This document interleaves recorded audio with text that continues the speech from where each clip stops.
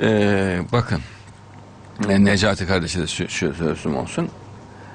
Mesela bir Nur ders, Risale Nur ders yapıyor değil mi kardeşlerimiz? Evet hocam. Ve Mehdi'nin gelmesini istemiyorlar. Şahsı manevidir, geçiştirmek istiyorlar değil mi? İlla ki var gücüne Mehdi'ye yardım ederler. Ellerinde olmaz. Mesela Süleymanlı kardeşlerimiz Kur'an kursları kuruyorlar ya. Mehdi'yi bekleyen vardır. İlla ki çünkü onların bir sırrıdır o. Ben biliyorum Mehdi'yi beklediklerini. Evet. Yani asıl hocalarını biliyorum. Ben konuşmalarını biliyorum. Evet. İslam'ın dünyaya hakim olacağını söyledi Süleyman Hilmi Tunahan. Yani İslam hep böyle gidecek demedi ki. İslam dünyaya hakim olacak diyor. E dünyaya hakim olunca Müslümanlar lider olmayacak mı? Olacak inşallah. O liderin adına Mehdi diyorlar işte. Evet. O lider Mehdi'dir. E Burada konuşacak bir şey kalmıyor ki geriye artık. Evet. Değil mi? Ee, ikincisi her Süleymanlı kardeşimiz Kur'an kursu açtığında orası Mehdi'nin okuludur. İnşallah. İstesin veya istemezsin. Evet. Mutlaka Mehdi'ye hizmet eder. Evet hocam inşallah.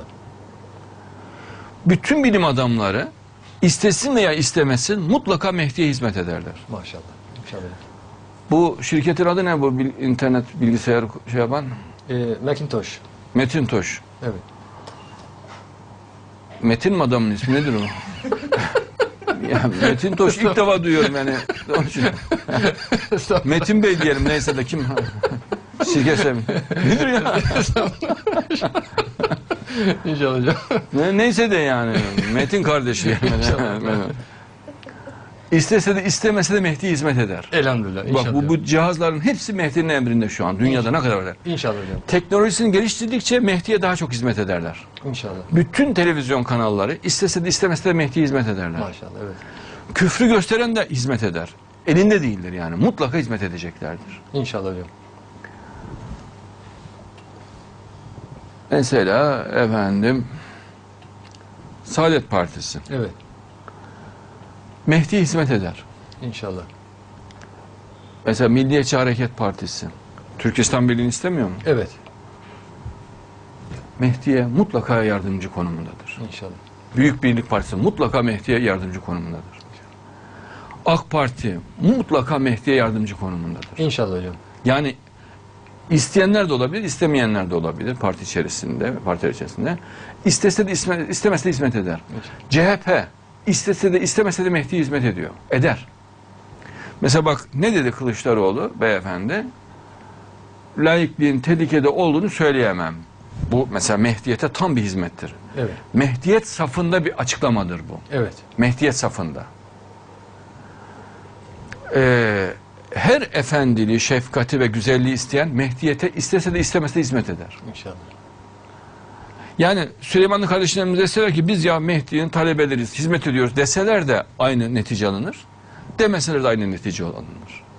İnşallah hocam. Ama bakın şunu iyi bilsinler.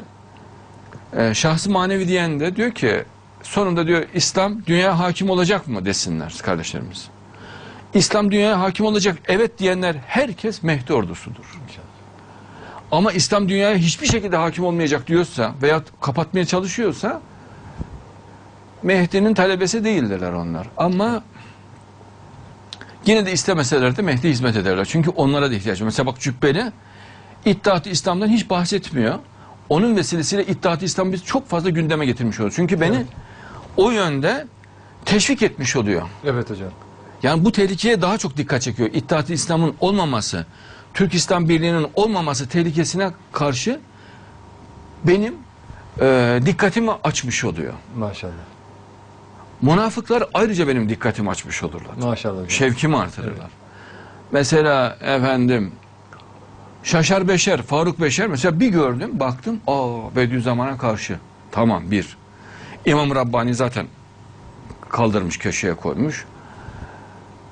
Kütüb-i Sidde'yi de canlı istediklerini alıyor. Canlı istemediklerini almıyor. Hocam dedik İttihat-ı İslam istiyor musun sen dedik. Yo diyor. Ha sen bana hizmet ediyorsun işte. Niye? İnşallah. Benim şevkimi artırıyorsun. Elhamdülillah. Beni delirtiyorsun sen bu yönünden. inşallah. Davada mı yapıyorsun? İnşallah. Tehlikeyi daha çok görmüş oluyorum. Sen nasıl İttihat İslam istemesin Kur'an'ı savunursun da? Ve sen üstelik Samanyolu TV'ye çıkıyorsun. Değil mi? Evet. Mehtap TV'ye çıkıyorsun, var gücünden her şeyi anlatıyorsun ama tek anlatmadığın İttihat-ı İslam. Evet. Niye anlatamıyorsun bunu Hazret? Niye ağzına alamıyorsun İttihat-ı İslam'ı? Evet hocam. İslam dünyaya hakim olsun de. Değil mi? Bütün Evet. Müslümanlar birleşsin, Türkistan birliği olsun de. Niye söyleyemiyorsun? Söyleyemiyor evet. Niye konuşamıyorsun? Osman Ünlü Hoca değil mi? Böyle güzel güzel kahvesini içip muhabbet ehli şeklinde konuşuyor. TGRT'ye çıkıp. Gümbür gümbür de ki PKK yerle bir olacak. Türkistan Birliği kurulacak. İttihat İslam olacak. Türkiye dünyanın lideri olacak. Desene canım dedem. Evet. Diyemiyorsun. Bu benim heyecanımı artırıyor işte. Maşallah. Beni delirtiyor bu. Estağfurullah. İnşallah.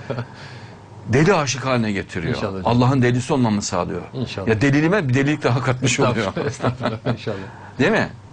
Bak mesela iki saat yayın yapıyorduk, dört saate çıkarttım. Maşallah. Dört, sekizde çıkaracağım Allah'ın izniyle. Evelallah. Yerimde duramıyorum, uyku Maşallah. tutmuyor yani. Değil mi? E bunlar bizi bu e, şevki veriyorlar. Bak onlar da Mehdiyet'e hizmet etmiş oluyorlar. Değil mi? Evet hocam. Ya herkes faaliyet yapsa belki bize meskenet gelirdi Allah esirgesin. Değil mi? Yani zaten yapıyorlar, görev yapıyorlar hani. E bakıyoruz ki bir sahipsizlik var. O zaman deliriyorum işte. Maşallah. Elhamdülillah. Anlaşıldı mı? Bir de bakıyoruz ki Avrupa'dan bir üfürük var, üfürüm. Evet. Böyle adam bir üfürmüş sol kulağından sağ kulağına içi ondan ona ondan ona ondan ona onlara.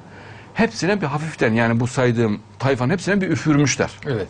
Cübbeli bir. Şaşar beşer iki. Evet. Bak bunların hepsi İttihat-ı İslam'a karşı olan Evet. tipler. Osman Ünlü, Evet. o baygın bakışlı arkadaş neydi? Abdülaziz Bayındır. Abdülaziz Bayındır Beyefendi Hazretleri kardeşimiz. Hocamız Hazretleri.